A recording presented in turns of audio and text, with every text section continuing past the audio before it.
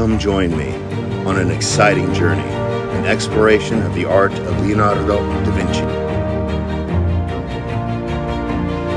Combining it with technology's latest achievement, artificial intelligence.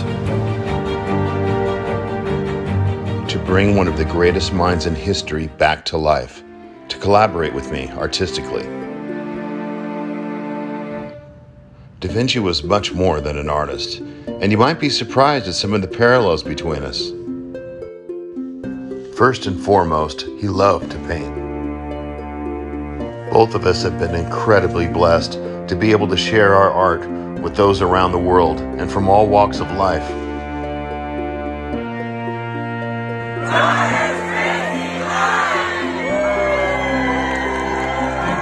He was a mathematician, an engineer, I too enjoy using math in my paintings, like the Fibonacci sequence or the golden ratio.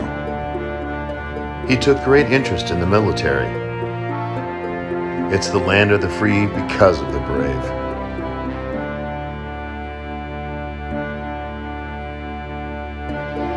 For as long as I can remember, I've been fascinated by things like time and how things work.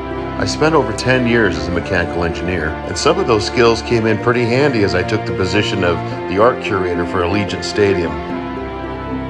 Da Vinci played quite a few instruments. Now, I played the drums and the piano and a few other things, but I sure love music.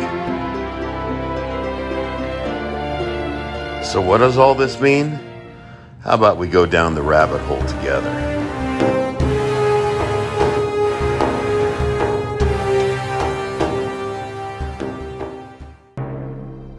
Da Vinci loved to push the boundaries of what was technologically possible at the time.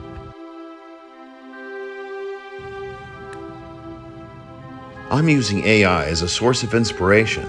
Then I create over the top of the image by physically drawing and painting using everything from gouache, paints, colored pencils, and ink. The final result is quite impressive.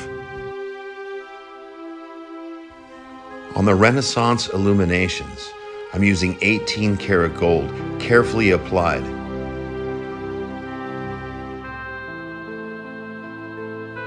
I've spent weeks practicing my writing skills to try and imitate that of Da Vinci's.